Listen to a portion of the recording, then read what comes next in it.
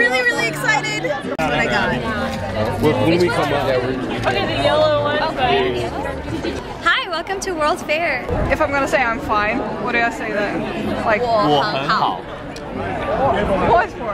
Hi, I'm Danny and I'm the president of the French Club. Tonight we have brought cheese, baguettes, and quiche um, from all different parts of France. I'm here at the World Fair, and I'm here because I just love learning about the diversity on campus, and I'm personally a president of one of the cultural clubs, so it's just great to see all the different clubs around. I'm here at World Fair, my favorite event at CLU because I love all the free food and all the awesome people that turn up.